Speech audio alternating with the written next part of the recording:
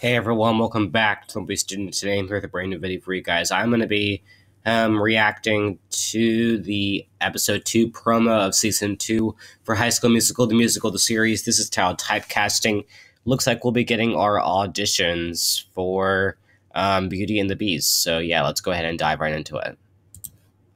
Next, on High School Musical, the musical, the series. Attention, thespians! We could audition as a girl group. Everyone's like, it's gonna be so weird to audition for the show without Nini. Oh, I can't believe I'm missing it. Just wanted to do a little check in. Guess I feel a little bit like a square peg in a star shaped hole. Madame Gaston, can't you just see it? May the best Belle win. And next up we have. Okay, where's Ricky? Oh no, is he going to miss the audition?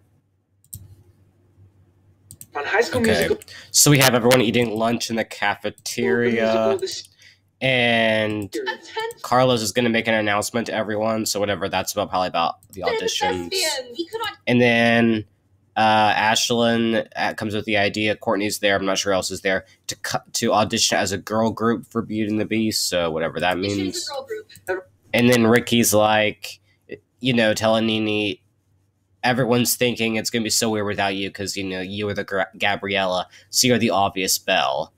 So that it is kind of sad though, you know, that she's not going to be there. I mean, she might show up at the end, but then again, like you know, it's obvious these other two, Jean and this other girl, who are battling for the part of Belle. So Everyone's like, it's gonna be so weird to audition for the Yeah. show without Nini. Oh, I can't believe I'm missing it. Just wanted to do a little and then it looks like Nini is talking with the person who was at the um uh uh play last season and she's checking in just making sure she's all still fine with this whole moving way. Check in. Guess I feel a little bit like a square peg in a star shaped hole.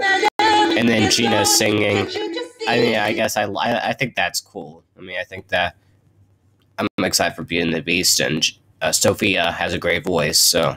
May the best Belle. And then this girl who we saw in the trailer is now battling level with Gina. I'm not sure she's just a new student at East High, I guess, is the point here. So I guess it's going to be Gina versus this other girl as to who's going to get Belle.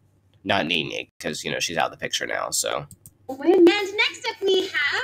Okay, where's Ricky? so Ricky, I guess, doesn't show up to the audition, unfortunately. He's obviously going to be the Beast, I assume. So, yeah. Um, it'll be interesting to see what happens. Um, I'm excited.